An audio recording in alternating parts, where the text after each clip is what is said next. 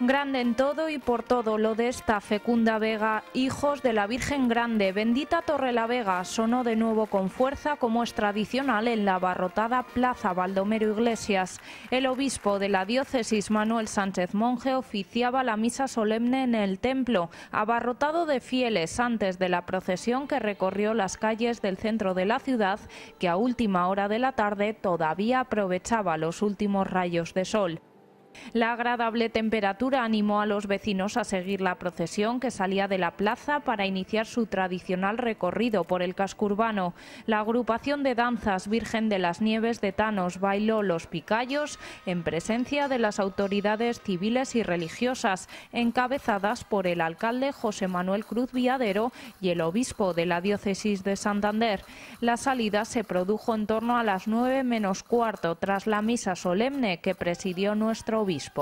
El recorrido tampoco se salió de la tradición, bajando el desfile por la calle Ruiz Tagle hasta José María Pereda y enfilando Pablo Garnica hasta llegar al Templo de la Asunción. Aquí también, como es costumbre, se hizo una parada para rezar una salve, con la presencia de la coral de Torrelavega cantándose un Ave María por parte de una de las integrantes de la agrupación.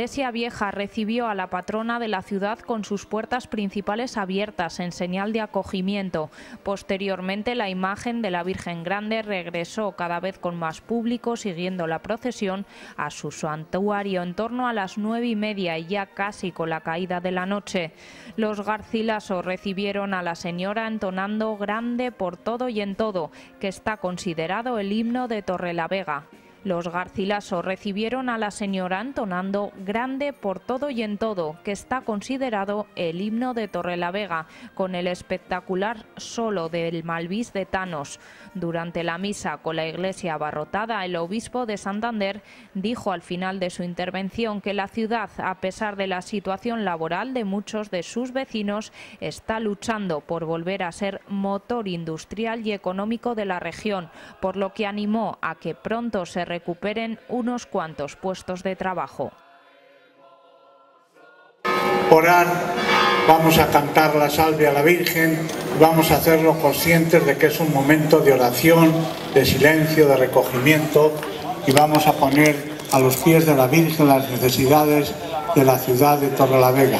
Pedimos por los enfermos, por los que carecen de trabajo, por los discapacitados, por los mayores, por los niños, para que todos tengan la ayuda que necesitan. Ayer lunes, día grande de la patrona, se oficiaba la misa solemne a las 12 en el templo parroquial. Y es que con la procesión de anoche ya ha transcurrido más de medio siglo desde que la imagen de la Virgen Grande pasara por primera vez bajo el dintel, obra del escultor Jesús Otero, estrenando su nueva casa, la parroquia de San José Obrero, que la acoge durante todo el año. Grande por todo y en todo